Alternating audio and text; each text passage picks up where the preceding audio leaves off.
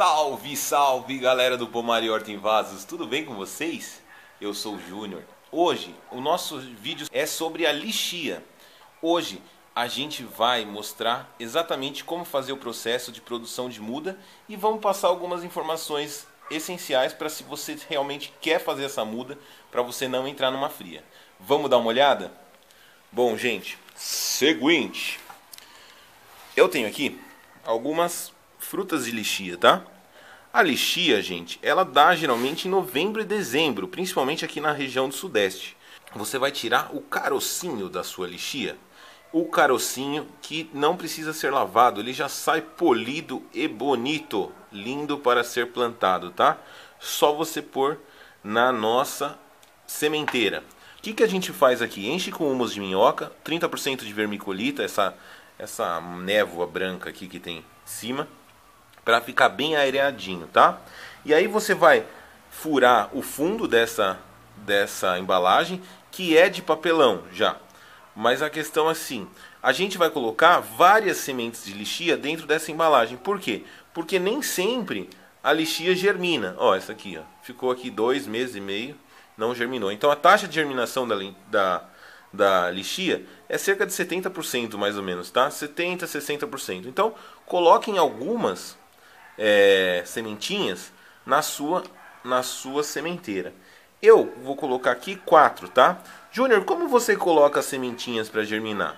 Eu coloco, gente, você pode colocar assim, de pé, ou você pode colocar deitada, tá? Eu coloco deitada, por quê? Porque a germinação vai sair desse pêndulo, daqui, ó, só para vocês entenderem. Daqui vai sair a germinação, tá?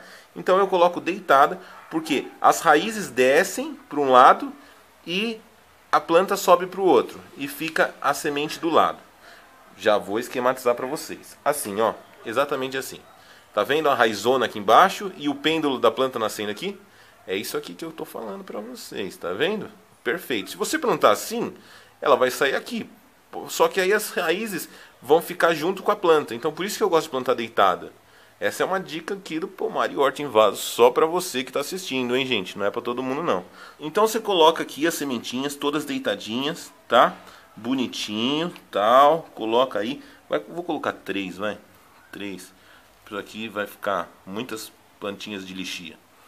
E fecha. Claro, umedece bastante esse sistema, tá?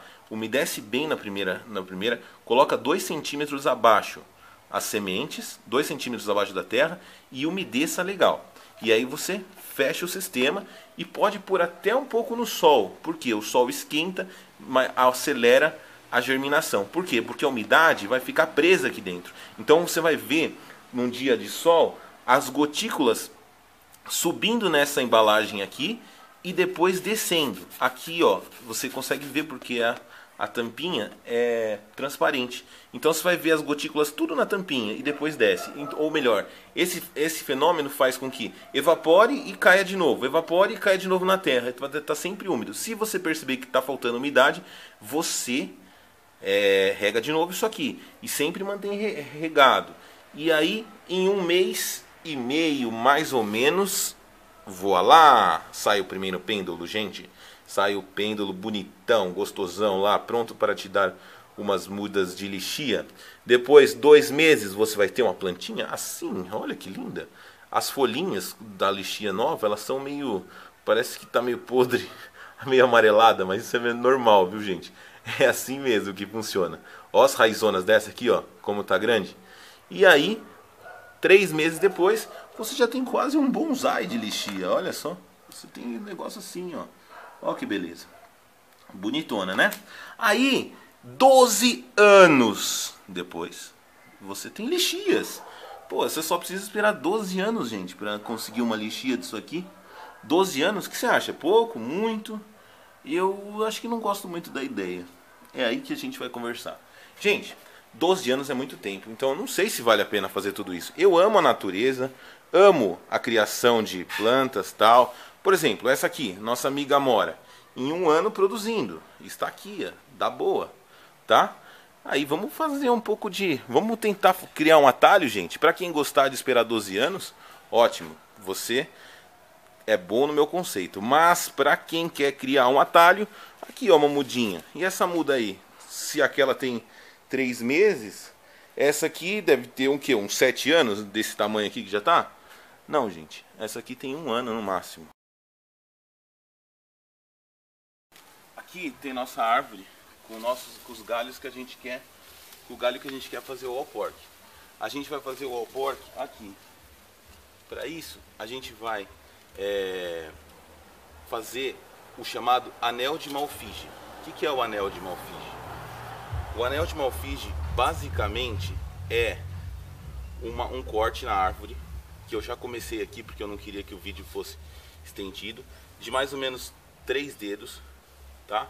Uns três dedos aí, se mede aqui e faz. Você corta só a casca da árvore, para que somente a seiva elaborada não consiga passar, tá? Você só vai cortar a casca e você vai tirar a casca assim, ó. A casca de uma árvore sadia, ela vai sair fácil, tá, gente, ó. Se você pôr a sua faca por dentro, ó, se vocês conseguirem olhar aqui, ó, ó como ela sai fácil, ó. Ó, ó. Essa aqui eu tirei faz alguns minutos, ela já tá um pouco mais clarinha aqui. O anel, quando vocês tirarem, ó, se vocês fizerem as duas, as duas é, extremidades bem cortadinha aqui, ó, fazer o corte bem certinho, vocês não vão correr risco dele ficar não, não conforme, porque ele é bom que ele fique retinho, tá? Tanto de fora tanto quanto de cima, de baixo de cima, tá? Aí, ó, aqui tá pronto o anel de malfige vai passar a seiva bruta para as folhas, vai fazer a fotossíntese e quando voltar a seiva elaborado, não vai passar aqui. E aí vai propiciar o enraizamento da sua, da sua muda, da sua futura muda. Bom, o que, que a gente vai fazer? A gente vai pegar, eu já deixei aqui preparado a parte de baixo do saco, porque como eu não tenho coordenação, vocês já sabem disso, eles vão, ele vai precisar que eu prenda esse saco na base e depois você vai prender aqui, tá? Mas aqui a gente vai cobrir de musgo para facilitar o enraizamento. O musgo, a gente vai a gente vai molhar com o nosso substrato, com o nosso hormônio, com, com o nosso enraizador. Então o que, que vocês vão fazer? Pega o musgo aqui e com o nosso enraizador. Esse aqui já é outro enraizador, viu gente? Aquele lá já estragou. O primeiro que a gente fez. Eu tive que fazer um outro. São 15 dias para que ele fique bom. Depois disso ele perde o valor. Deixou úmido, deixa bem umidozinho mesmo, para evitar qualquer problema. Pode usar tudo aí. Deixou bem úmido. E agora a gente vai preencher o nosso anel. Põe aqui bem preenchidinho. Já começa a pegar o plástico, tá? Faz um, um envelope bem legalzinho. Aqui. Para que isso aqui fique bem legal. Quanto mais preenchido, mais fechadinho, melhor. Porque vai manter a umidade 100%, tá? Aí você vai pegar os seus araminhos que você já cortou e vai fechar.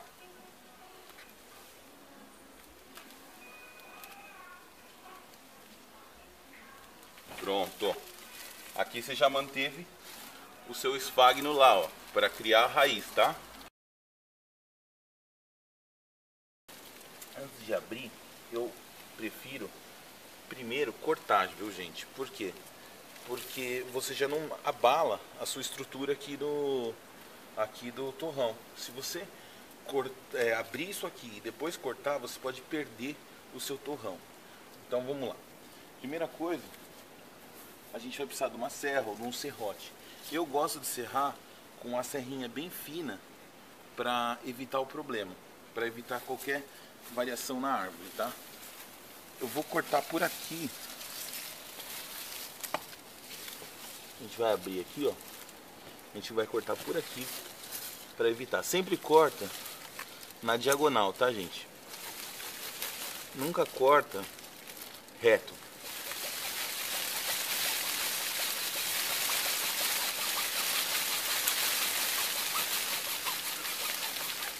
Porque melhora no caso de quando cai a água, ela cai e escorre. Pronto, já cortamos. Aqui, ó, tá a nossa muda então. Essa aqui é a nossa amiga. Olha as raízes, quantas raízes já cresceram aqui, gente. Isso foi em dois meses e meio, tá? Que eu deixei aqui. O vídeo foi um, uns dois meses, mais ou menos. Mas eu tinha feito um pouco antes. Muitas raízes mesmo, tá vendo? Isso aqui fica bem legal. Então vamos lá. Eu já preparei um pouquinho aqui. Dessa minha misturinha aqui. Eu não estou usando, como é um negócio bem pequenininho, eu não estou usando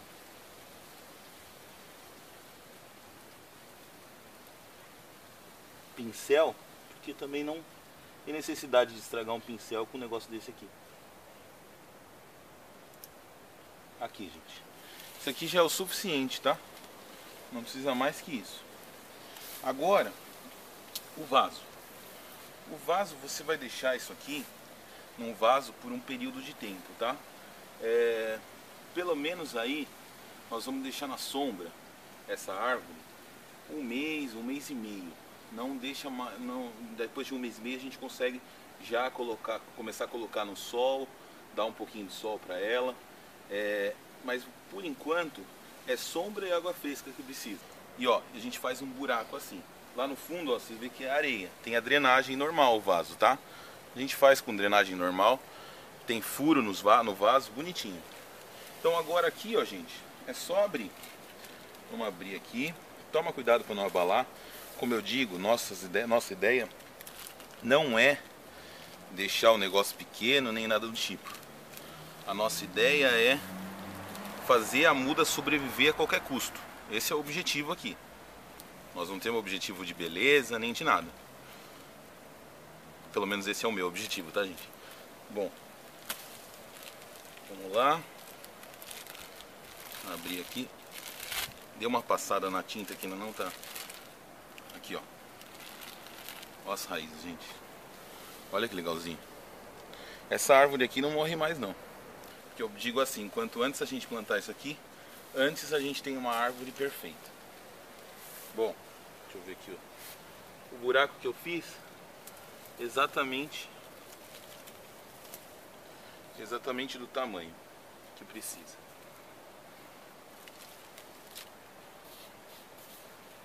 Aí o vaso também já fiz mais ou menos no tamanho que, que a gente usar isso aqui. E aí uma coisa, uma dica interessante. Aperta bem aqui as, ao lado para que você não tenha problema dela ficar correndo, andando. E às vezes até a gente pode usar uma aramação para evitar problema também. Você aramando aqui a árvore, segurando ela, ela não se mexe. E aí ela não não estraga, tá? Depois aqui a gente vai preencher, preencher mais esse vaso. A gente vai pegar um pouquinho mais de terra. Para que fique bem legalzinho, tá? Por quê? Porque quanto menos essa árvore mexer, melhor. Essas raízes elas vão ficar mais, mais certinhas e bonitas. Mas essa muda aqui, ó, já está pronta para ir pro, como eu digo, um lugar com sombra rega todos os dias para fazer de tudo para essa árvore não ter estresse. Deixar ela bem tranquila mesmo. Em um ano eu tenho uma planta bonita, saudável, que eu tirei apenas de um galho. Esse é o chamado processo de alporquia. É isso aí, ficamos por aqui. Quem gostou desse vídeo, dá aquele like maroto, ajuda muito a gente. Você sabe que ajuda, né? Se inscreve no canal, compartilha com seus amigos Fiquem com Deus, se inscrevam lá no nosso Instagram, siga a gente no Instagram que a gente está postando coisa diferente lá, tá gente? E siga a gente na nossa página, Pomar e Horta em Vasos, no Facebook. Tchau, tchau. Até o próximo vídeo. Fiquem com Deus.